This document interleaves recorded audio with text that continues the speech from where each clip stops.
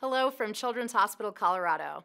I'm Dr. Elizabeth Coan, Assistant Professor and Clinical Faculty at the School of Medicine, and Anschutz Medical Campus. I work as a clinical psychologist in the Department of Developmental Pediatrics at Children's Hospital Colorado. Developmental Pediatrics is a robust assessment, treatment, and research center staffed by an interdisciplinary team of dedicated specialists. This includes 15 developmental behavioral pediatricians, 23 psychologists, as well as social workers, family navigators, nurses, and clinical care coordinators. In addition, we have a well-established and respected training program that supports medical students and clinical trainees across all disciplines. Diagnostic assessment for autism spectrum disorder makes up a substantial part of our clinical service. As a team, we complete an average of 22 new patient diagnostic evaluations per week and are seeing upwards of 1,700 patients per month across our various developmental clinics. However, like so many other institutions across the country, it is proving nearly impossible to stay ahead of the growing need for these assessments. Autism spectrum disorder is the world's fastest growing developmental disability, with the current prevalence rate in the United States being 1 in 36 children. This reflects a 317% increase in prevalence since the year 2000. As such, there is much work to do, not only to improve access to accurate, efficient assessments, but to support these patients and their families after diagnosis as well. Over the past few years, it has been increasingly stated by specialists within the field of autism that we need to expand and redefine our approach to diagnostic assessment in order to meet the ever growing needs of this population. Stated plainly, this means that the job of diagnosing autism must move beyond the walls of specialty centers and into the hands of capable, well trained medical professionals within our greater community. Our department is constantly working on new initiatives to aid in these efforts. We have several projects, including e-consultation services, outreach clinics, and physician education programs designed to support community providers in this work. I'm the director of one of these initiatives called the Pediatric Care Network Autism Program, which is a physician education and training program designed to support primary care providers in the identification and management of autism. This program includes in-person trainings at the primary care office on topics such as review of the diagnostic criteria of autism, talking to families about autism and developmental differences, and conducting an autism-focused developmental history. Participating providers then complete these interviews in the home office when concern for autism arises. In some cases, when autism symptoms are clear, this interview can aid in independent diagnosis by the PCP.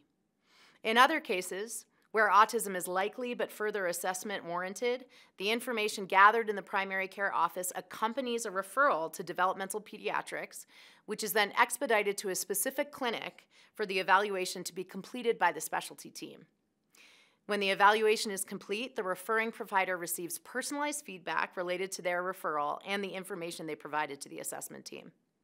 These open lines of communication allow for ongoing consultation between the specialty clinic and community primary care providers, which in turn leads to refined and improved referrals, as well as growing confidence related to identification of autism by community providers. Since the inception of this program in 2018, we've trained over 150 providers across 23 different practices in the state of Colorado, and we've seen over 300 patients through this referral pathway.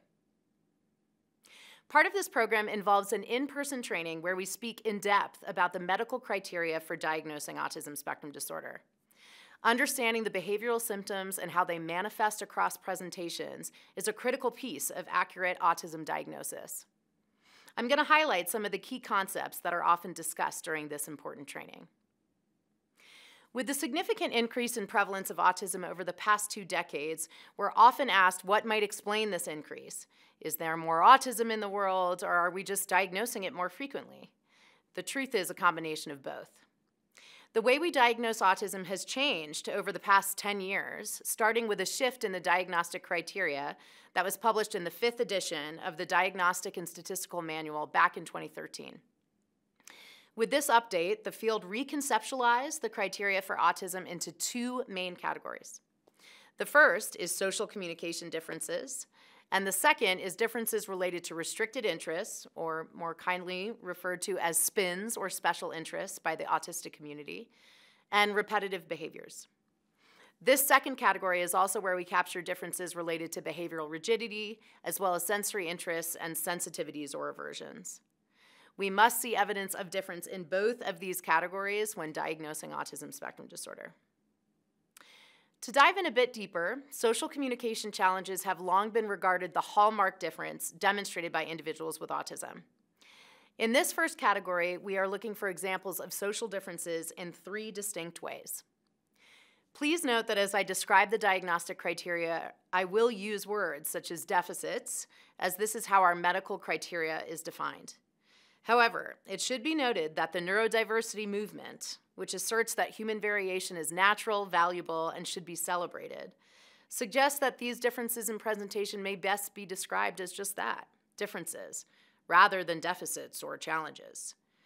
I often defer to the family's preference when speaking about the diagnostic criteria, but do think it important to note that as professionals in the field, assessing for autism is considering how the following symptoms interfere or get in the way of an individual's ability to engage in their day to day activities.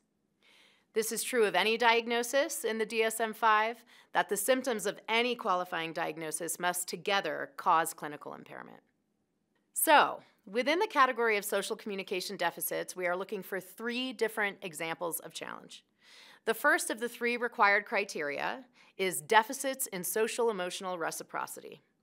This can include things like atypical approach to social interaction, reduced sharing of interests, emotions, or affect, difficulties sustaining reciprocal or back and forth conversation, or difficulties initiating or responding to social interactions. This would be considered in relation to the individual's expressive language and developmental level, meaning it extends to nonverbal communication efforts as well. The second criteria in this section is deficits in nonverbal communicative behaviors that are used for social interaction. This does not just mean differences with eye contact, though that is commonly identified as a classic difference for autistic people. It is true that many individuals with autism have reduced eye contact and reduced nonverbal communication skills, such as emotional facial expression and gesture use. However, Differences here also include poorly integrated verbal and nonverbal communication. For example, right now I'm speaking, I'm making eye contact to a camera, but go with me here. I'm gesturing, my tone of voice is changing, and my facial expression is changing, and this is all happening fluidly to supplement my verbal message. In autism, the integration of these skills tends to look different. Nonverbal communication skills may appear more stilted or rehearsed, and often these skills lack natural integration with one another. Autistic individuals may also miss these nonverbal social cues in those around them, causing them to misinterpret others' communication or to miss out on the social information provided by recognizing these cues in other people or environments. The third and final criteria in this category is deficits in developing, maintaining, and understanding relationships.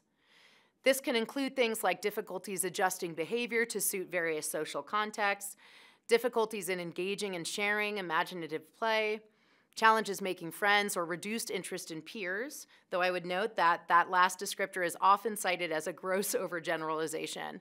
Many, many individuals with autism are socially motivated, but may have difficulty knowing how to initiate friendships, or more commonly, how to sustain friendships once they're established. As mentioned previously, all three of these criteria need to be met within the category of social communication deficits. The second category where we assess for differences is related to restricted, repetitive patterns of behavior, interests, or activities. This category includes four different criterion, though only two of the four listed are required to be sufficient for a diagnosis of autism. Perhaps the most widely recognized symptom in this category is stereotyped or repetitive motor movements, use of objects, or speech.